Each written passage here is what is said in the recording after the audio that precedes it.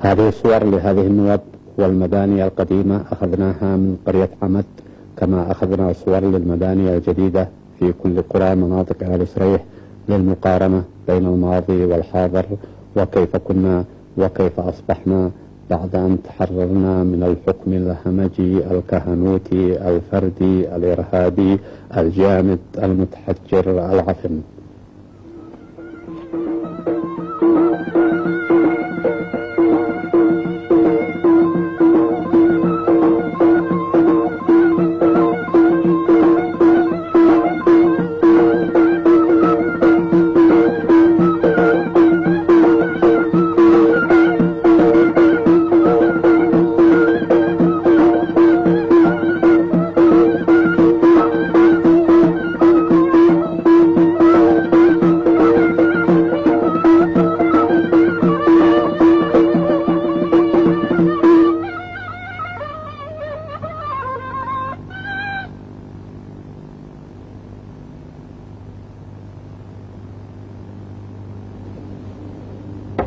في قرية ناجر من قرى آل سريح خلف الآباء والأجداد هذه الكتابات الحميرية